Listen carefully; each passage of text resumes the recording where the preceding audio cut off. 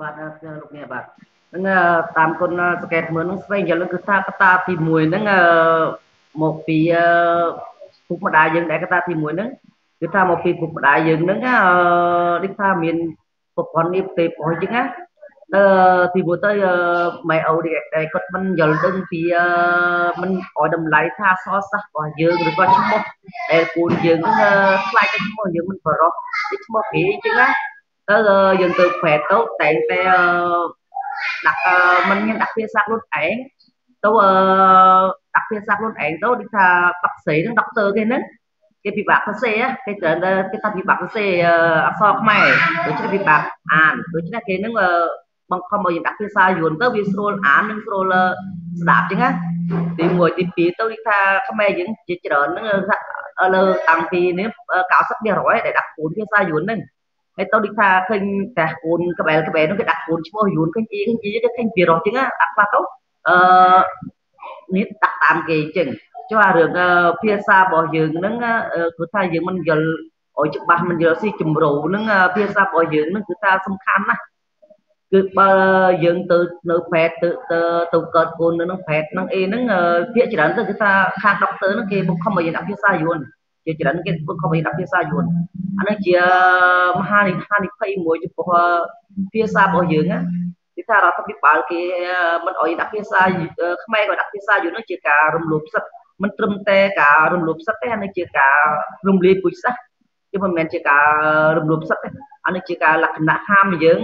មិនឲ្យយើងដាក់ភាសាខ្មែរគំនិតរបស់យើងនឹងជាការរំលែកពុជសាស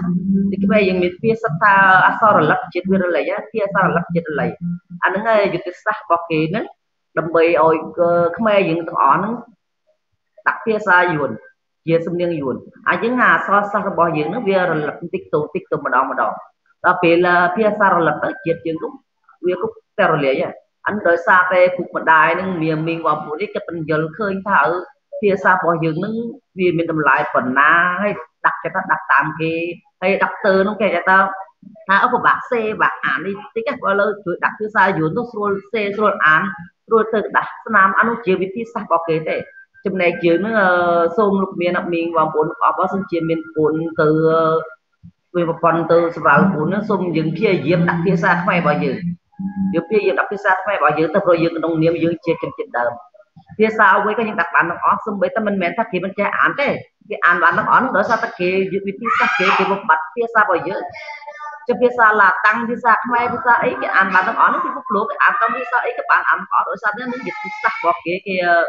បន្លៃពុជសាស្ត្រដោយមិនស្រុកឈាម